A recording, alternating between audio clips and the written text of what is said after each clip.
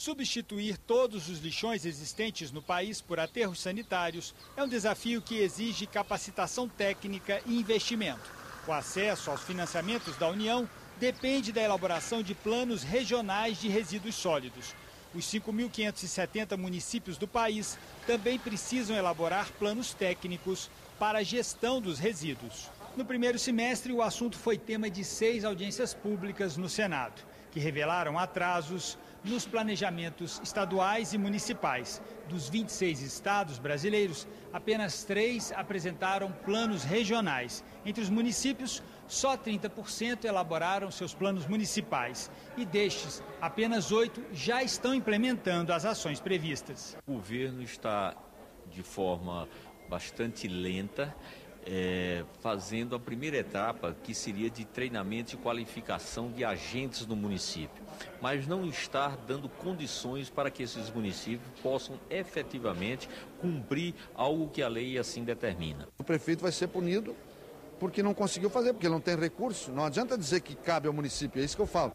Mas o governo federal é contra a prorrogação da data para o fim dos lixões. Nós queremos a questão de resíduos sólidos no Brasil efetivamente resolvida. E entendemos que não é prorrogando, empurrando com a barriga que a gente vai ter. O Movimento Nacional dos Catadores de Materiais Recicláveis também é contra o adiamento.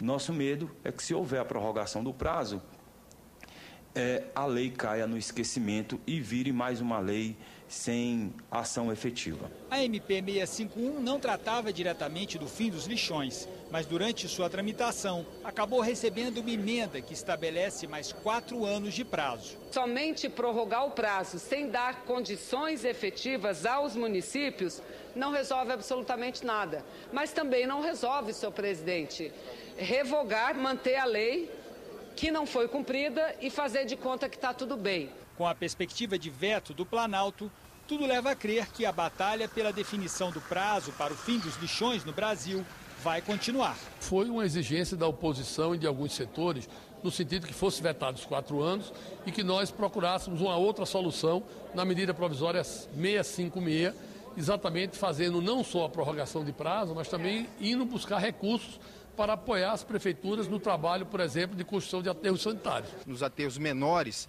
o custo é, per capita é, e o preço da, da, tonelada destinada ao resíduo acaba sendo mais alto, então é, é preciso que eles cons consigam se constituir em consórcios.